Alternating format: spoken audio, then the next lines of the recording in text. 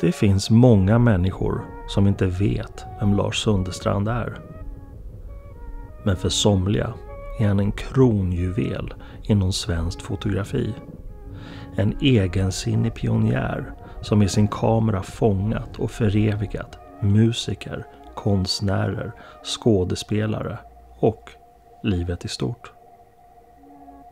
I det att decennierna passerar förbi blir det en gång experimentella arbetet en konkret historieskrivning.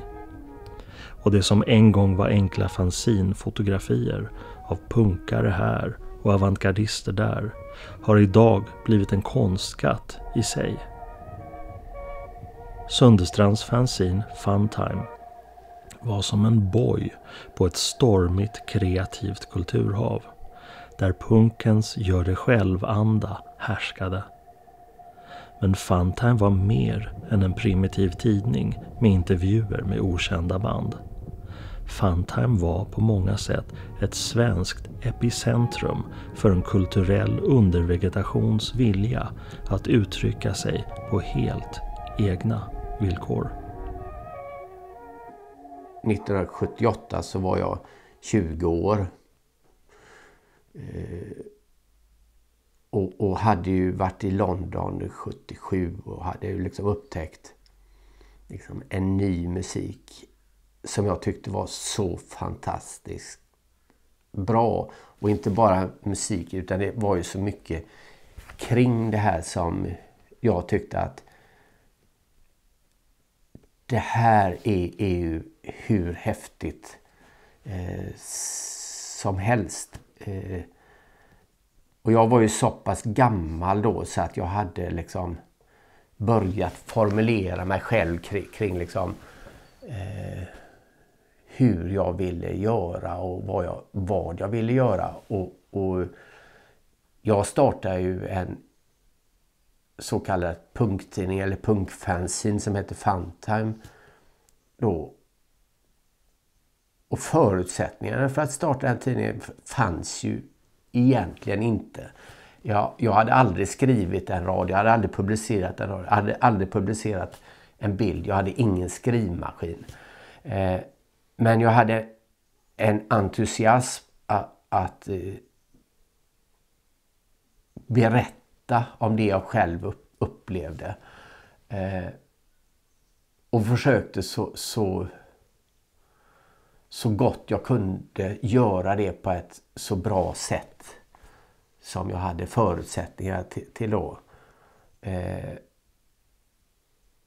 och, och, och, och det där växte ju nå, nå, någonstans. Min, min tidning blev ju snart etablerad även om den liksom gjordes under små förutsättningar så, så, så blev ju den eh, Eh, lite grann tongivande för, för liksom ett, eh, ett, sätt att skildra saker på, på, på, på den tiden. Och, och jag hade väl lite grann eh,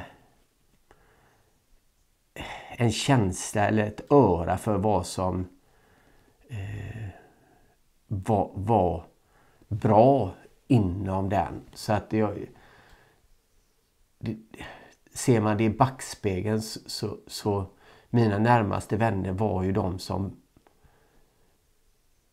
blev eh, de, de, stora personligheterna under den tiden. Jag umgicks ju med killarna i Ebba Grön. Jag umgicks med Stry. Jag, jag eh, träffade Freddie Wadling tre gånger i veckan. Eh, artister som kom till Göteborg bodde hemma hos mig och jag bodde hemma hos, hos folk när jag reste, reste runt. Jag blev eh, knockad, tror jag. Ehm, jag var mest van vid mammas eh, veckotidningar och den estetiken så att, att få att sitta och bläddra igenom Funtime med, med den speciella eh, ja, estetiken och innehållet var ju som en dröm faktiskt. Otroligt inspirerande. Mm. Vad var det som inspirerade? Ehm, ja men i första hand själva looken. Tror jag. jag hade ju aldrig sett liksom klipp och klistra estetik förut. Och naturligtvis eh, fotografierna Eh, jag menar Lars var och är en fantastisk fotograf. Så ja, energin som, som eh, Funtime utstrålade var, var det som grep mig. En vikt, väldigt viktig um, um, dörr in till en helt ny värld, skulle jag säga. Det var ju ingen som var rädd för mig eller, eller liksom tyckte att jag la mig i eller någonting. För jag var ju som en av, av dem vilket gjorde väldigt, väldigt stor skillnad. Och, och Eh, man märkte det tydligt när man kom utomlands och, och kom i kontakt med mer kända band så, så, var det ju liksom det här att, att jag gjorde en egen tidning för mina egna pengar och betalade min resa själv. Eh, det är självklart att man, man gör en intervju med en sån person som åker från Sverige till upp till Sheffield för att träffa Cabaret Voltaire, låt säga. Eh, för jag hade ju inget syfte med, med, med det, mer än att jag tyckte att de var fantastiska. Eh, och, och det var ju inte från deras sida att de behövde prata om senaste skivan som skulle lanseras. För de hade antagligen ingen skiva som skulle lanseras utan de, det var andra saker som man pratade om. Eh, så samtalet blev ju ofta väldigt mycket mer intressant än det man kunde läsa om i, i, i vanlig dagspress. Under en period så kanske det fanns 50 olika tidningar av olika kvalitet och dignitet. Eh, och sammantaget så var det ju en total dokumentation över en tidsperiod som, som eh, eh, skapades. Och, och, och tyvärr då får jag ju säga att det försvunnit lite grann. För att i historien, om man inte finns i historien så till slut så försvinner man också ur historien. Kvar finns ju kanske min tidning och kanske två, tre andra tidningar. Eh, de andra 47 eh, nämns aldrig. Jag var ju väldigt försynt eller blyg och, och, och, och, liksom, och osäker. Så, så att eh, eh, där, där, var ju alltid... Det, det primära var ju att, att, göra en intervju.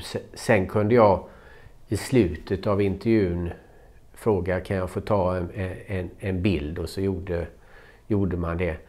Eh, artister som jag lärde känna blev det lite annorlunda med för då, då, då kunde vi börja med bilden eller om det fanns liksom att vi var på någon plats där det funkar. Ja men vi kan väl göra en gruppbild här.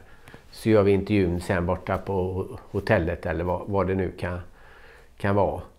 Eh, andra artister vill ju inte bli fotograferade. Och sa, sa ifrån från det är helt okej okay att du kommer eh, hit men, eh, jag vill inte att du tar några bilder här. Det finns ju den här eh, konserten med Clash i, London där, där, jag visste att jag inte fick ta några bilder och att jag visste att jag inte fick ta med någon kamera in. Men att kompisar smugglade in kameran för mig, andra smugglade in objektiven för mig. Och jag tog så många bilder jag kunde innan jag blev eh, utlyft av två stora vakter. Eh, de slet ju ut filmen ur, ur, ur kameran men jag hade ju byxfickan full med, med färdigexponerade. Och då visste jag ju liksom att jag, jag, har den här chansen nu för att jag har grejerna inne men jag kommer bli utslängd. Det gäller bara att utnyttja tiden fram tills dess. Eh, men, men sen de här privata situationerna då, då ser man ju ibland elände eller, eller liksom andra saker som jag inte tycker ska, ska vara i det offentliga. Eh, även där när åren går så kan man ändra sig lite grann. Och tycka att det var väldigt synd att jag inte tog de bilderna för nu har historien fortsatt att leva och, och, nu har de, hade de haft ett den här misären eller vad det handlar om har ett dokumentärt värde. Eh, men då var det ju kanske bilder som kom dem i, i fel sammanhang så skulle det bli väldigt fel för, för de här personerna som jag umgicks med. När jag slutade ge ut Phantom 1983 så var det, var det eh, liksom en period i mitt liv som också jag satte en punkt för att jag inte, skulle, för att jag inte skulle eh, frestas att, att fortsätta och, och, och, göra saker så band jag in rubbet i, i, i halvfranska band heter det väl. Ja. Eh, där, där, det var bara ett sätt för mig att sätta punkt. Att, att jag fått, nu, nu räcker detta. Och, och under 20 år tittade jag inte ens i, i, i, min tidning. Jag tyckte liksom att jag, allt jag hade gjort var kass. Eh, jag ville vara eh, eh, Tom Wolf och jag ville vara eh, Håkan Lager. Och jag ville vara Johan Ehrenberg och jag var ingen av dem. Lars Sundestrand formulerade sin fotografiska vision inspirerad av legender som Henri Cartier-Bresson, Josef Kodelka, John Hartfield och svenske Sune Jonsson. Kameran, som från början varit ett rent dokumentärt verktyg, växte snart till en själslig spegel som i kombination med fanzinskapandet och utvecklandet av långvariga vänskaper bidrog till en högst personlig historieskrivning. Jag har jobbat på, på, på dagstidning och, och, och, fotograferat sport och sånt och är totalt värdelös som, som sportfotograf. Eh, för jag kan inte läsa spelet. Man kan inte liksom, fotografera fotboll utan att veta liksom, vad den spelaren, vem han ska passa till och där kanske bilden ligger. Jag kunde ju bara följa bollen och jag var alltid efter.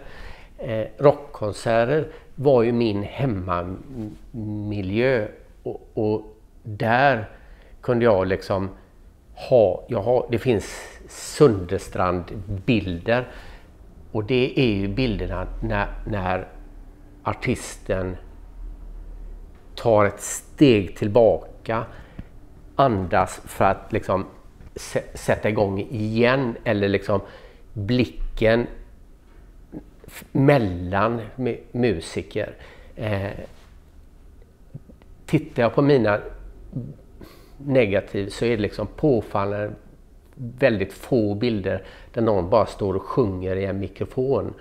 Eh, det, för det, det, liksom, det var inte intressant. Och det, det var ju de bilderna också man såg eh, eh, dagstidningarna på, på 70 80-talet. Det var ju bara tråkiga bilder med en sångare eller gitarrist som stod framför med, med mikrofon i ansiktet och, och sjöng. Jag tillhörde en ny generation fotografer som försökte hitta något annat både i liveuppträdanden och eh, Eh,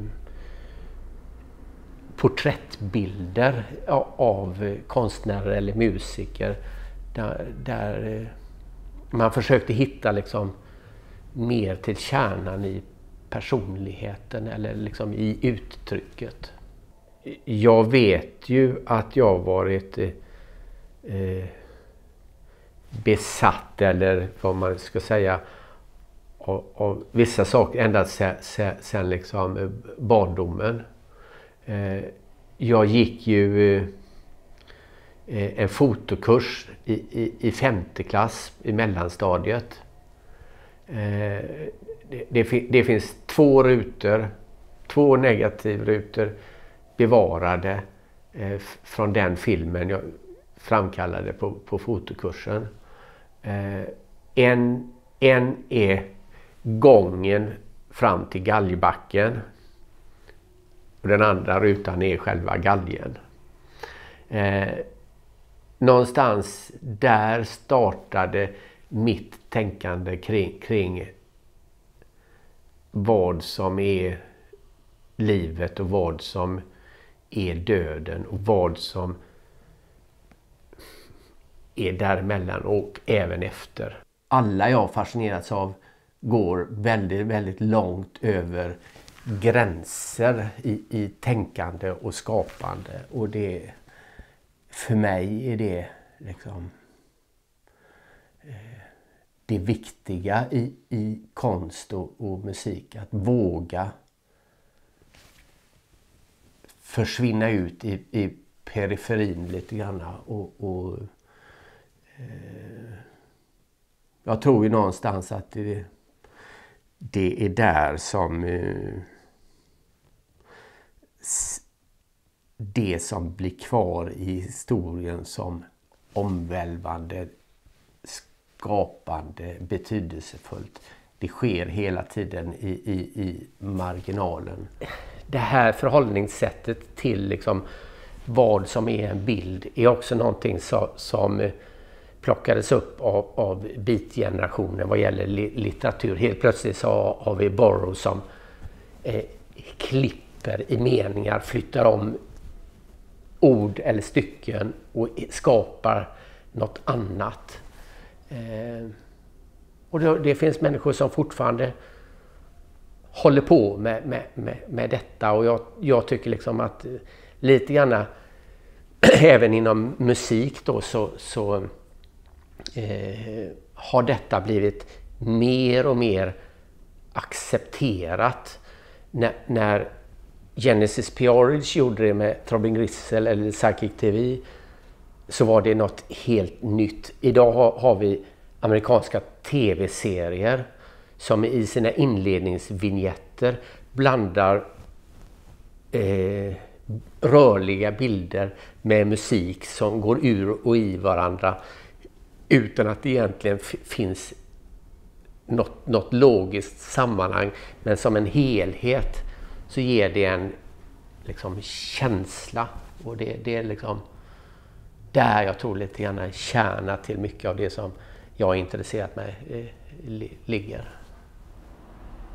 If you want to do something creative and new you have to step away from what's expected and destroy the expected. Find what is around you that could make a sound. Look at what people expect and do the opposite. If they think it should be on a laptop, never use a laptop. Like with TG, if, you, if people are used to guitarists that play, have somebody that doesn't play. If drums limit the way that the music sounds, don't have drums. It's really simple. It's a very simple formula.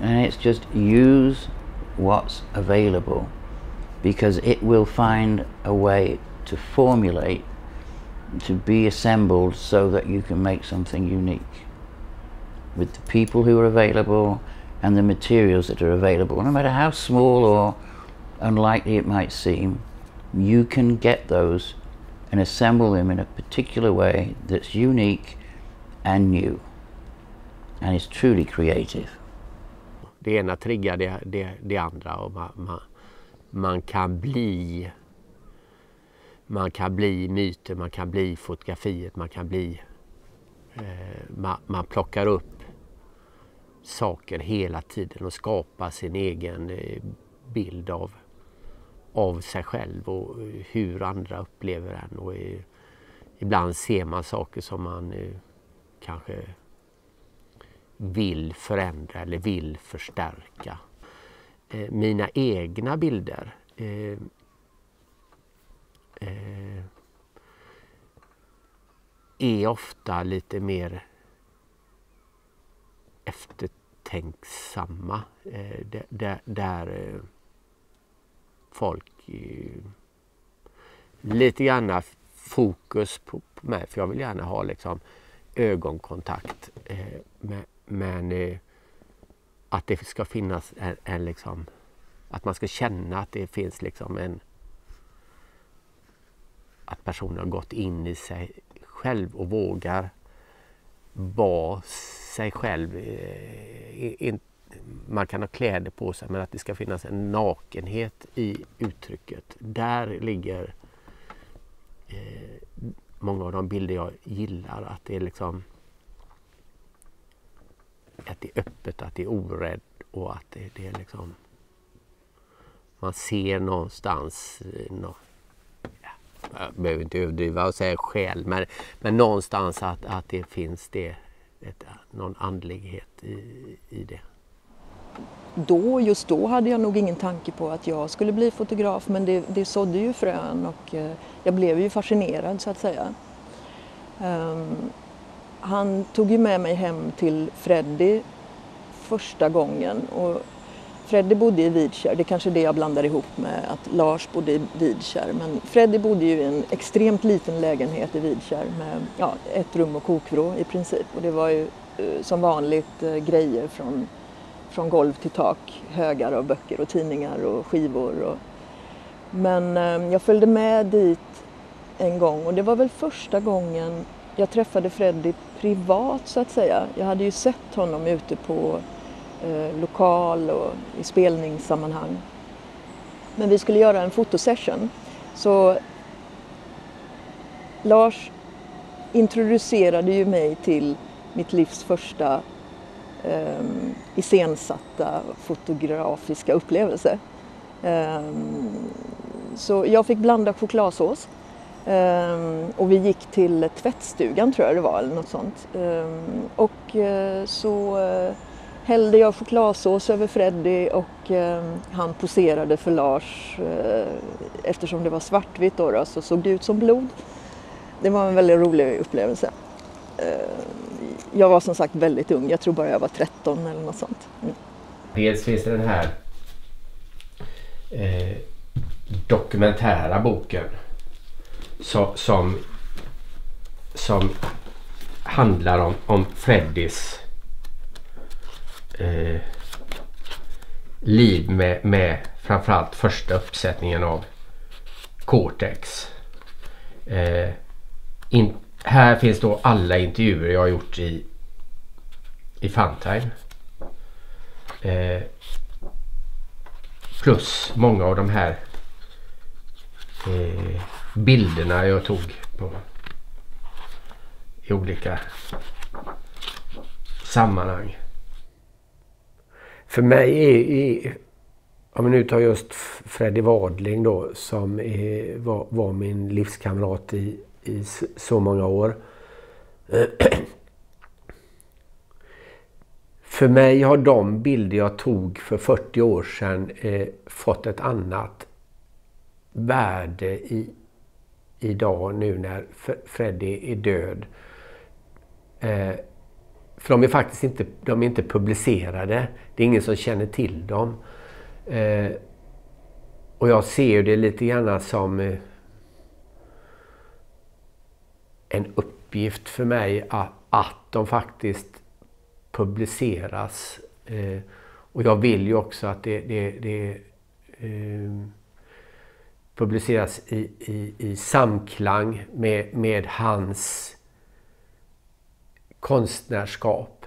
Eh, och då tänker jag inte bara på, då tänker jag inte så mycket på musiken utan Freddys målande och tecknande. eh, för vi, vi gjorde ju de här märkliga bilderna eh, tillsammans utan något syfte syfte eller liksom mottagare utan bara för att det var någonting som vi kände att det, det här vill vi göra. Eh, och, och eh, jag, har ju inte, jag har inte gjort något liknande under hela mitt liv så, som de gånger. Men, men, jag har heller inte jag har heller inte träffat någon som Freddy. Eh, som eh, ge mig de impulserna. Freddy var ju liksom inte en ljusskygg person men var liksom, hade sitt lilla rum. En del av bilderna eh, som den här som är en del i en eh, vampyrserie gjorde. Den är ju taget på, på, hans lilla rum som kanske var 10 kvadratmeter. Eh, jag tror att eh, eh, det är Annika von Hauswolf som håller i en lampa eh, för, för, att göra den. Och här, den här bilden är tagen vid, vid, samma tillfälle, samma lilla rum. Och man kan inte tro liksom att det är totalt belamrat utan här är ju liksom sån här som jag säger Sundestrand renhet som är koncentrerad. Eh, sen finns det ju såna här bilder som denna som är en av mina favoriter. Eh, vi hade ju inte liksom, tillgång till internet på den här tiden. Vi hade inte tillgång till liksom, så mycket böcker. Men den här är, är ju hämtad från Murnaus Nosferatu. Jag tror, tror den kom 1922. En stumfilm och räknas som en av de absolut första vampyrfilmerna. Och det här är när vampyren anländer på, på, på ensam på ett dött svart skepp i, i London och, och, och ta sig upp ur, ur båten. Eh, idag kan man göra en screenshot på, på, på just den. Vi hade bara den bilden i, i, i huvudet och jag hade lekt i en borg i, i Partille som barn. Eh, jag sa till Freddy, jag har den perfekta borgen. Vi kan göra två bilder där. Vi kan göra Nosferatu och vi kan göra Frankenstein. Eh, men det, det, är lite jobbigt att ta sig dit. Eh, hur då jobbigt, säger Freddy. Ja, du måste ju klättra i berg. Eh, men Freddy var liksom, jag hade en, en gammal folk, folkvagn så vi åkte till, till Partille och klättrade upp för, för berget till den här lilla borgen. Och sen var det liksom, Freddy var helt med på precis vad, vad, vad vi skulle göra. Eh, och jag menar det här, det här tycker jag är, är, är fantastiskt. Och likadant har vi denna. Det är samma borg. Eh, det finns bilder på, på, på Frankenstein när han går ner för en trappa i, i liksom det här borgen som de bodde i. Här, jag hade inte möjlighet att gå ner i trappan men jag har trappa med, jag har med ett fönster. Och... Eh, Freddy var inte fåfäng överhuvudtaget. Eh, han tyckte väldigt mycket om att se bilder på, på eh, sig själv. Eh, men aldrig någonsin att han liksom ja men jag vill se glad ut på en bild eller jag vill se hård ut på en bild. Han hade inget sånt utan snarare var, var det ju positivt om jag hade en idé att, att vi gör så här. Eh, jag har en annan bild här borta som kanske kan illustrera det. En låttitel som är Evil Eye. Ja men det kan vi ju göra något på Fredrik. Kan, kan inte du bara eh, blunda med ena ögat och stirra in i, i kameran? Ja visst kan jag det. Eh, och det här är liksom snabbt taget och det är liksom inget omständigt. Naturligtvis hade jag gärna velat haft med hela örat men det hade jag inte på den rutan jag tog. Så det, det är liksom... Ja. Det, det... Men det var ju, var ju mycket, mycket att vi gjorde bilder utifrån Ja, jag kan säga att det var in, in, jag gjorde inga slumpmässiga bilder på Freddy. Utan det var, var konceptbilder som hade med någonting att göra. Lars Sundestrand har under färdens gång gjort närmare 80 fotoböcker. Men endast ett fåtal av dem har givits ut på förlag. Sundestrand har finslipat böckerna till dess han är fullständigt nöjd och har därefter gått vidare till nästa projekt. Oavsett om det handlar om nio praktverk om vännen Freddy Wadling eller en dokumentation av vänskapen med personer som Tåström eller Genesis Peorage eller summeringar av samarbeten med nya artister som Robert Urla eller poetiska reseskildringar så är hans egensinniga arbete och attityd de samma. Bokformen i sig blir ett personligt, känslomässigt sätt att berätta en unik historia. Men vad händer om böckerna aldrig ges ut eller ens visas upp? Handlar det här om ett motsägelsefullt uttrycksbehov som inte tillåts blomma? Eller ett värnande om den egna och högst privata processen? Jag tycker inte mina bilder är tillräckligt bra utan text. Eh, jag tycker text och bild inte är tillräckligt bra förutom när det visas i, i ett tryckt format. Eh, så någonstans där ligger det väl att, att liksom, jag är färdig med, med, med någonting när det finns liksom printat. Sen, sen liksom om det om, om det eh, ses av många eller om det är liksom eh, som den här Ebba Grön-boken. Här är mitt original och här är en bok utgiven av Bonniers. Eh, och jag vill, vill någonstans ha saker på, på, på mitt sätt. Annars kan det lite grann eh, kvitta. Och det är, liksom, det är mitt problem hela tiden. Det är liksom, annars hade jag väl haft mer saker publicerade. Varit liksom, ja, kanske kunnat försörja mig på, på, på liksom mitt fotograferande eller bokskapande. Nu, nu har jag försörjt mig på andra saker. Här är ju eh, eh, en bok jag gjorde med materialet från eh, katakomberna i Palermo. Boken är gjord i nutid men här har jag även med mina ursprungliga bilder från en utställning som jag hade på Galleri Radium 1986. Så här såg affischen ut då. Och det, det, det som var speciellt med den utställningen var ju att då var jag ju känd som eh, eh, rockfotograf. Och, och skivbolag Radium var väl det mest omtalade skivbolaget i Sverige eh, just då. Och, och, och hade en eh, speciell utgivning och de hade filmkvällar och bjöd in regissörer och visa filmer. Och det var inte vilka filmer som helst utan det var märkliga filmer med framförallt New York-filmare. I den här tiden då så, så blir jag, även jag inbjuden att ställa ut eh, mina... Jag, jag är inbjuden att göra en utställning kan jag säga. Eh, och jag frågade Micke von Haushoff, är det okej okay att jag visar några eh, bilder på lik. Ja, men det låter bra, säger han. Då åkte jag ner till Palermo eh, och, besökte eh, ett cappuccinikloster där. Det var ju långt innan internet och sådär så att det... ska se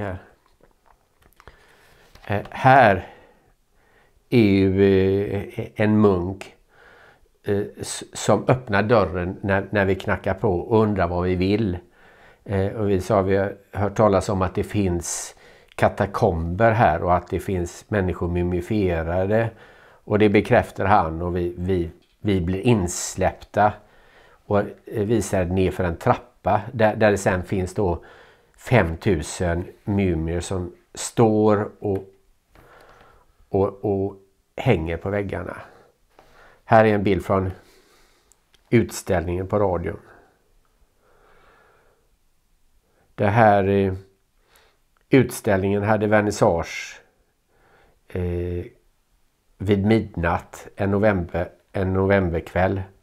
Eh, levande ljus och, och starkvinsbål. Eh, det var 600 personer i kö för att gå på en fotoutställning just då egentligen inte för att se de här bilderna utan det var mer att det var en häftig grej och att jag var känd som rockfotograf tror jag. Det här är ju printar från, från den utställningen. Det har ju varit viktigt för mig att eh, hålla på med bilder eh, för att hålla mig någorlunda psykisk balans. Eh, jag har en tendens liksom att i, i, väldigt mycket av det jag gör att eh, eh, bli manisk. Det spelar ingen roll om jag håller på och planterar växter eller om jag håller på att eh, renovera eller om jag håller på med eh, någon bok eller någonting så kan jag jobba eh, lite för mycket. Men, men för det mesta så, så, har jag ju någonting som eh, tickar i, i bakhuvudet som gör att jag, jag, jag kan gå liksom en hel dag och fotografera betongmurar. Typ. Eh, och det är inte att jag ska publicera bilder på betongmurar men jag använder strukturen i, i collage till, till något annat. Jag upplever inte att jag har kameran som tröst men jag upplever att jag har kameran som, som ett hjälpmedel att se mer, att uppleva mer. Eh, reser jag någonstans idag så, så, så liksom ofta hittar jag saker som triggar någonting. Eh, jag var med min fru i Polen och Gdansk. Eh, och, och, vi hittade inte till turiststråket utan gick en annan väg och helt plötsligt så var det en, en, en stad där, där jag såg liksom eh, kontraster.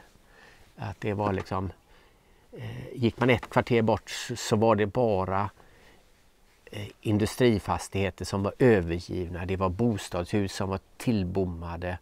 Sen gick man runt hörnet så var det nybyggda fantastiskt fina hus.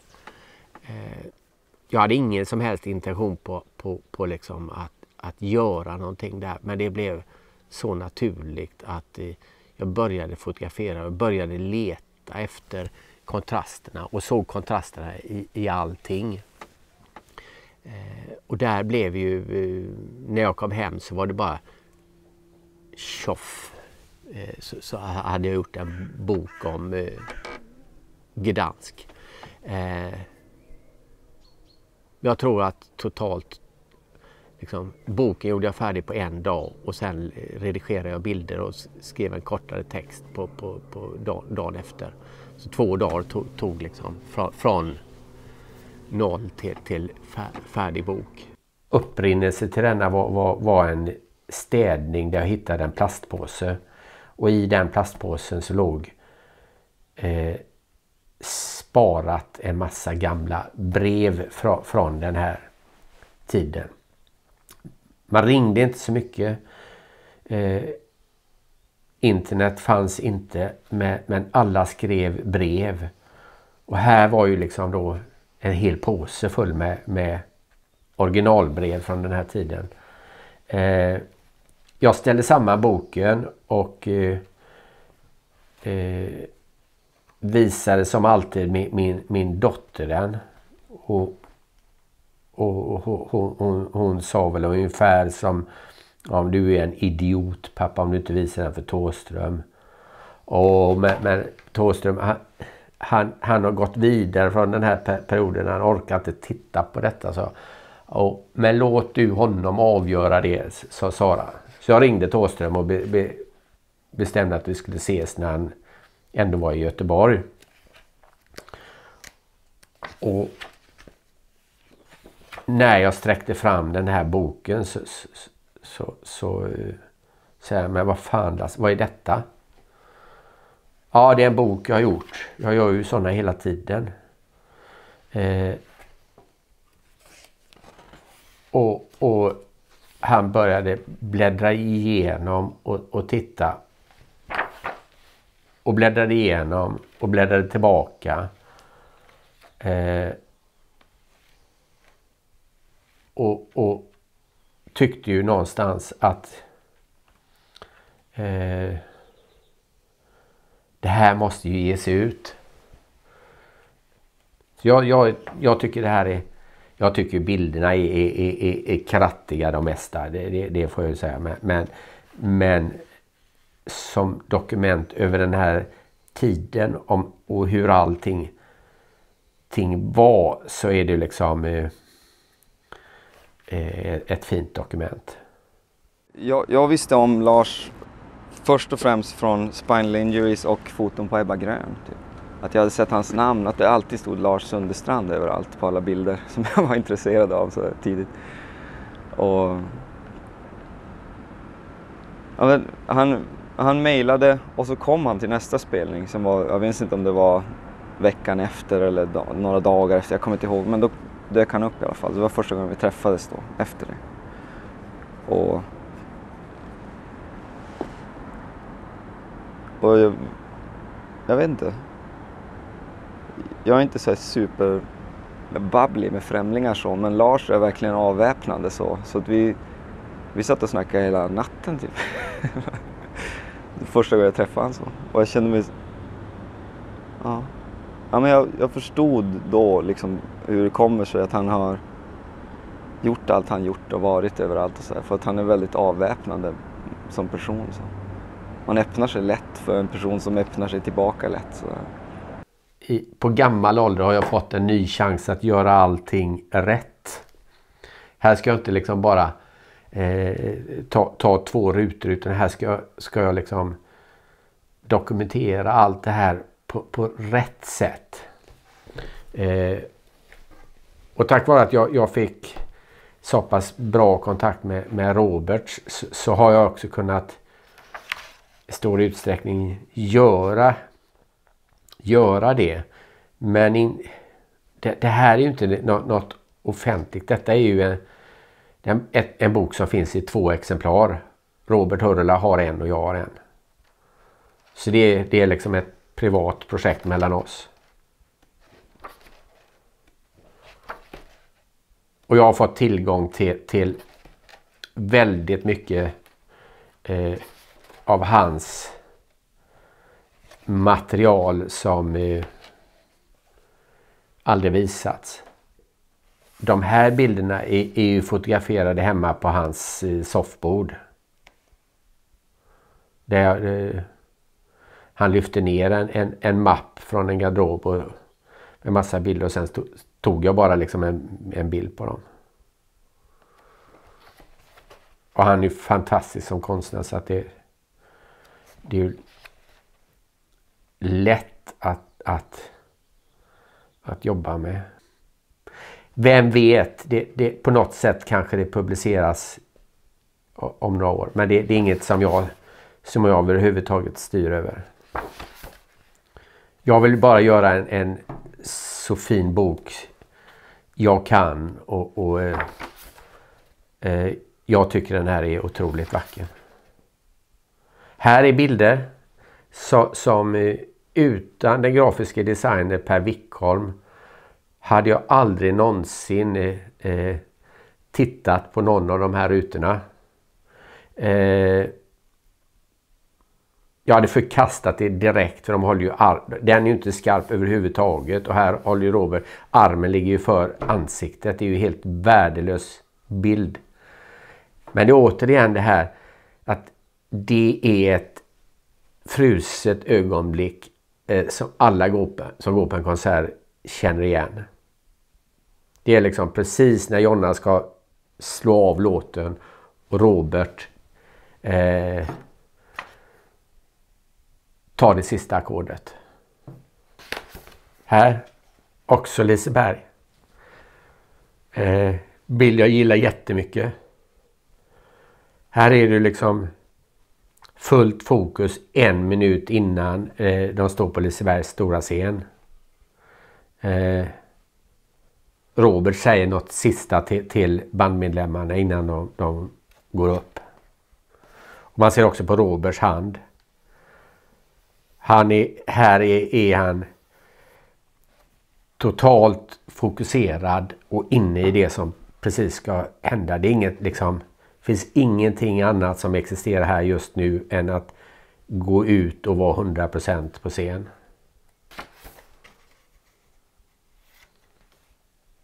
Här är det ett fruktansvärt oväsen på, på scen. Och Robert, det, det är det ögonblicket när han går in och, och hälsar på publiken. Min dotter som fick vara med och stå bredvid mig här eh, säger just i detta ögonblicket Pappa, detta är stort. Och jag var lite stolt över att hon fick, fick vara med och uppleva det. Vi pratade ganska mycket ganska snabbt så att jag, jag kände ganska tidigt att jag kunde lita på honom på något sätt. Och han hängde med mig, han kom till Stockholm och hängde med till min replokal där jag sitter och sitter med lurar och spelar in liksom gitarr och bas och trummor och sådär. Och han bara satt i hörnet. Han begär liksom ingenting. Han bara, ja, jag kan bara, gör din grej, jag är bara här. Och på något jävla konstigt sätt så så funkar det med honom sådär. Jag skulle inte palla att någon sitter och bara, jag gör min grej här i hörnet liksom. Men han utstrålar att han menar verkligen att det är okej, okay, jag sitter bara du behöver inte underhålla mig. Så här, på något sätt. Och det är faktiskt så... Ja visst. Och han är ju väldigt... Han är ju väldigt rak åt båda hållen. Man kan ju också säga bara, men slut, sluta nu, fota. liksom. Och det här liksom backstage, att man sitter och, och, och liksom stämmer sin gitarr, att man sminkar sig, att det är liksom... Jag är som flugan på, på väggen här. Det, det, det, det är ingen som liksom tänker på att jag är, är där. Och, och, är det idealiskt för dig skulle säga att vara en fluga på väggen? Ja, jag gillar det. Eh, och hade ju det lite grann som eh, även när jag jobbade på typ Göteborgsoperan eller Stadsteatern i Göteborg. Eh, så jobbade jag ju inte utifrån salongen utan jag var på ta-avstånd från dem jag fotograferade. Eh, men, men, speciellt på Operan så kunde det vara väldigt eh, känsligt om någon kom och klampade in i, i, i liksom all nervositet. Men, men de lärde känna mig och var så trygga vid att jag var där. Så det var, var, var liksom inga pro problem. Eh, för, för att jag var liksom eh, så trygg i, i, i mitt. Och jag, man känner ju liksom omedelbart om någon artist börjar bli nervös eller irriterad. Jag med, om jag är backstage på en konsert en kvart innan de ska börja så, så självklart när jag, när jag känner att det börjar bli, nu, nu börjar det liksom adrenalin gå igång och nu börjar nervositeten komma för nästan alla är nervösa innan. Det är klart att jag, jag går ut ur, ur logen då för då, de behöver den. Jag kan känna att de bästa bilderna som han har tagit är liksom i loge-situationer och så här, bakom scenen och kring och runt så här. För att det är då han är ganska då hans, hans personlighet har liksom passat, han passar in i en sån situation, han är van att vara i sådana situationer också. Han har tagit jättemycket bilder från när vi har spelat också såklart och, och omslagsbild till en skiva och sådär. We hadn't realized how much we'd, we'd done with Lars. And we liked that it included letters and things like that too. Um, and it was very flattering. to see that and think that he would go to that much trouble to memorialize events in his life, which is what it is. So that that was the pleasure in that came from realizing how much it meant to Lars, really, and that it had had a genuinely positive effect on his life. Så fort jag hade träffat honom så visste jag liksom att den här människan är någon jag vill lära känna. Den här människan har mycket att lära av och, och, och eh, det här kommer bli någonstans ett, ett ganska långt förhållande. Eh, jag tycker att man upplever det omedelbart eller så uppstår det aldrig. Och Fanta räckte ju absolut inte, in, inte till.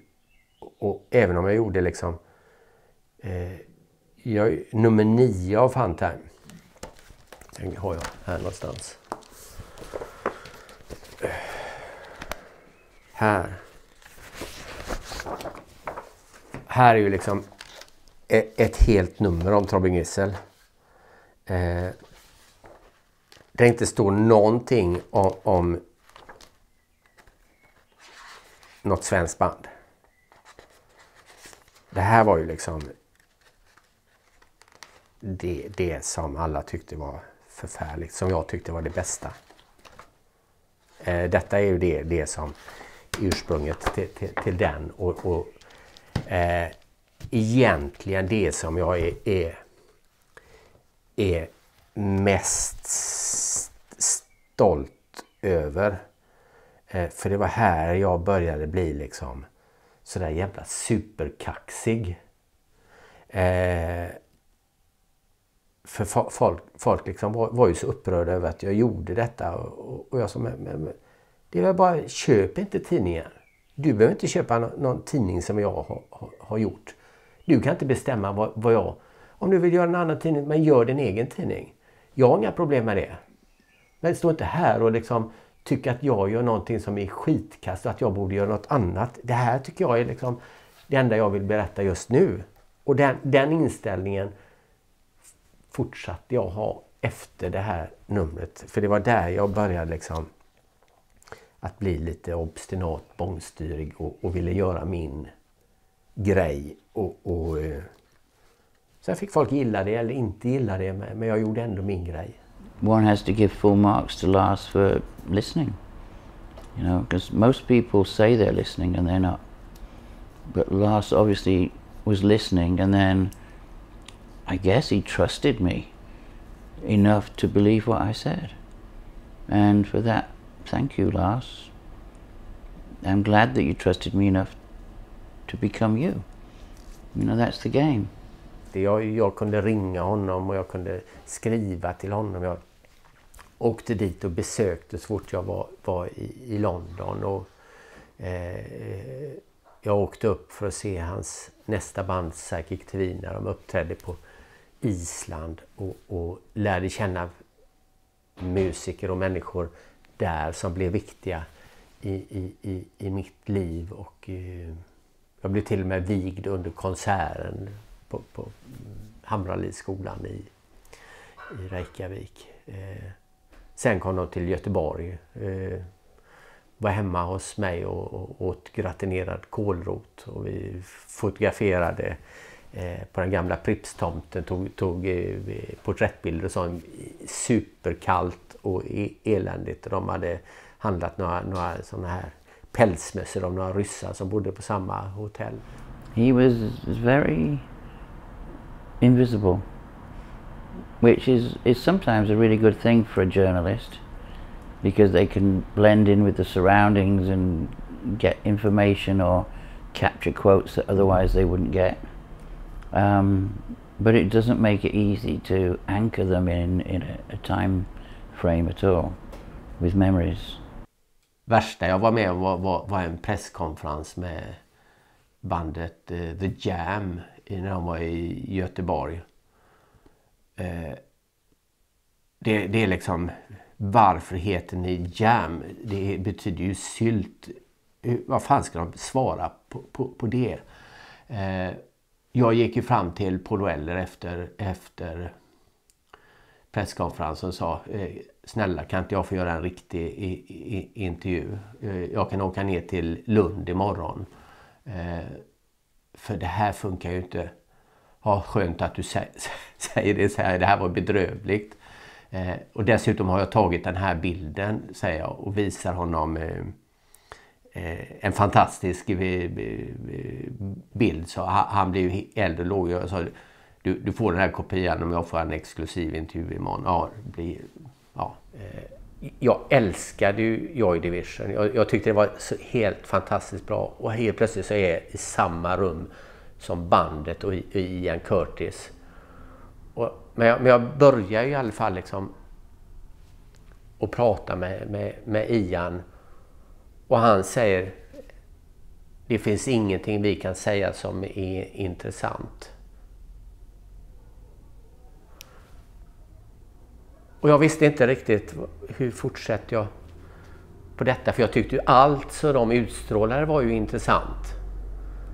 Eh, men han ville inte, ville inte liksom göra detta och, och det var ju liksom sån märklig situation. För jag sitter ju med detta bandet i fyra timmar. Eh, jag har en, en Coca-Cola-burk.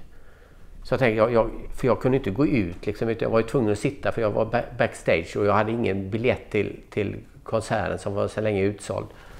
Så jag sitter och trycker med den här jädrans Coca-Cola-burken och, och, och, vet inte vad, vad, jag ska säga. Och de sitter tysta i fyra timmar. Hela jädra bandet sitter tysta i fyra timmar. Ända tills eh, Rob Gretton, managern, kommer in och säger nu kör vi om fem minuter.